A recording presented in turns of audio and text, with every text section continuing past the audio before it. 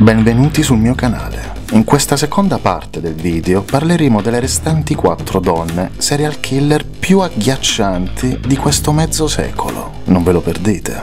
Numero 4. Joan Christine Denney. Nata nell'agosto del 1982 nell'Hertfordshire, era una madre assente di due bambini al momento degli omicidi. Nel periodo tra 2010 e 2013 confessò a un suo conoscente, Lloyd, di voler prendere di mira nove uomini durante la sua follia omicida, dicendo comunque che non avrebbe desiderato uccidere donne con dei bambini.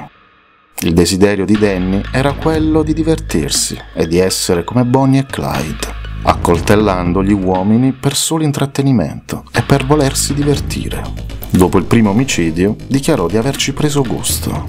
Tra gli omicidi ci fu Kevin Lee, un suo amante segreto, nonché il padrone di casa dove resideva. Dopo un certo periodo incontrò un cittadino polacco in cui aveva un comune interesse, cioè quello per l'alcol e la droga. Una sera lo attirò in una proprietà disabitata con degli sms molto suggestivi dove al loro incontro lei lo pugnalò al cuore, per poi smaltire il corpo in una fossa. La polizia dichiarò attraverso analisi forensi degli schizzi di sangue che l'omicidio fu brutale e incredibilmente sadico. Durante l'indagine si scoprì che anche un altro coinquilino era scomparso, John Capman, un veterano di guerra, ucciso presumibilmente nel sonno perché fu trovato un materasso sporco di sangue nel giardino. Alla fine, Joanna e un suo amico, nonché complice, cercarono di uccidere altri due uomini, ma fallendo nell'intento. I due uomini in realtà sopravvissero e riuscirono a identificare lei e il suo complice.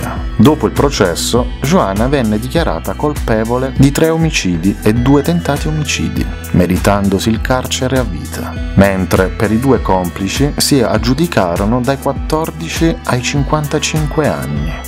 Il giudice Spencer, che seguì il processo, ordinò che Joanne non venisse mai rilasciata a causa della sua premeditazione negli omicidi e per la sua indole sadomaso. Numero 3. Sonia Caleffi.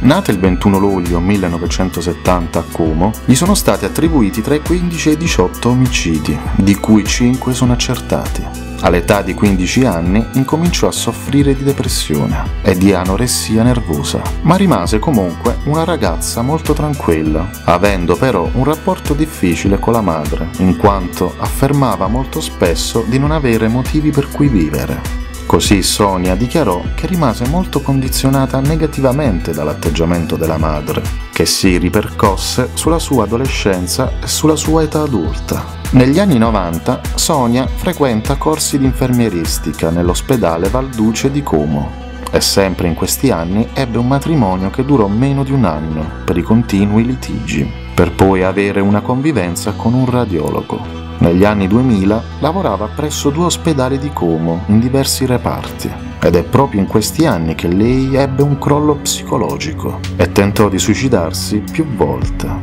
Mentre tra il settembre 2003 e novembre 2004 provocò la morte di 18 persone venendo poi scoperta dalla direttrice, che informò la procura. Il 14 dicembre 2007 venne condannata per 5 omicidi accertati e 2 tentati omicidi, anche se il procuratore generale aveva chiesto l'ergastolo, grazie al rito abbreviato la condanna fu ridotta a 20 anni di reclusione, suscitando grande rabbia da parte delle famiglie delle vittime. Ma nonostante tutto, il 25 ottobre 2018 Sonia venne liberata scontando soltanto 14 anni di carcere. Durante quegli anni Sonia affermò queste parole. Mi dispiace molto per quello che è successo e chiedo perdono se è possibile. Non volevo che finissero così quei pazienti. Io praticavo quegli interventi perché mi piaceva che tutti accorressero in tempo a cercare di salvare i pazienti.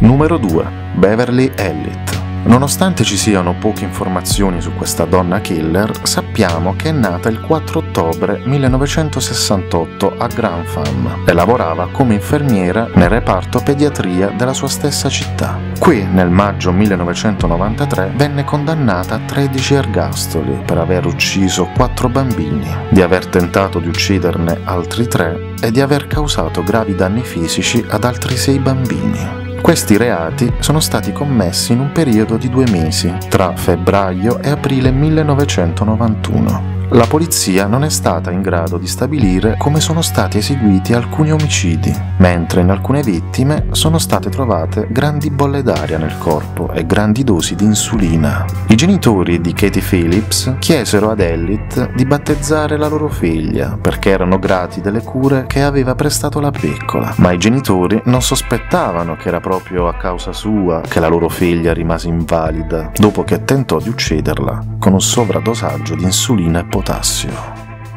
Numero 1. Janine Jones. Nata nel Texas il 13 luglio 1950, fu adottata dai proprietari di un nightclub, dove lavorò come estetista prima di frequentare la scuola infermieristica verso la fine degli anni 70. Si sospetta abbia ucciso più di 60 bambini, mentre lavorava come infermiera nell'ospedale di Bixar County Hospital, nell'unità di terapia intensiva pediatrica. Ma l'ospedale non portò avanti le indagini la Jones si trasferì in una clinica di un pediatra a Kerrville, in Texas. Qui in seguito venne accusata dell'avvelenamento di sei bambini. Il medico nella sua clinica trovò dei fori in una bottiglia di succinilcolina, un potente farmaco paralittico ad azione rapida, che causa una paralisi temporanea dei muscoli scheletrici, compresi quelli che controllano la respirazione.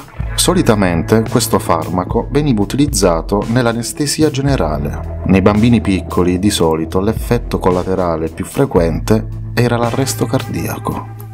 Così la Jones venne accusata di omicidio di almeno due bambini, ma si sospetta che ne abbia ucciso più di 60, soprattutto nell'ospedale dove lavorava in precedenza ma le indagini furono confusionarie in quanto molti documenti vennero distrutti o andate perse. Da ricordarsi che in America la sanità è privatizzata, quindi la società che aveva assunto la Jones per evitare ripercussioni, nel caso in cui fosse responsabile, di negligenza, abbia probabilmente manomesso i registri di attività della Jones. Di conseguenza, il numero esatto delle vittime rimane tuttora sconosciuto. Nel 1985 è stata condannata a 99 anni di carcere per l'omicidio di due bambini. Nel 2018 era stata nominata per il rilascio, ovvero al completamento di un terzo della pena prevista. Per evitare questo, fu incriminata il 25 maggio 2017 per l'omicidio di altri tre bambini. Così il giudice di Sant'Antonio ha rifiutato la richiesta di archiviazione delle accuse, così fu nuovamente condannata all'ergastolo e non potrà beneficiare della libertà condizionale fino a quando non avrà circa 87 anni. Queste erano le storie più agghiaccianti di alcune donne di questo mezzo secolo. Se il video ti è interessato, iscriviti al canale o metti mi piace e lascia un commento per sapere la tua. Ci vediamo al prossimo video.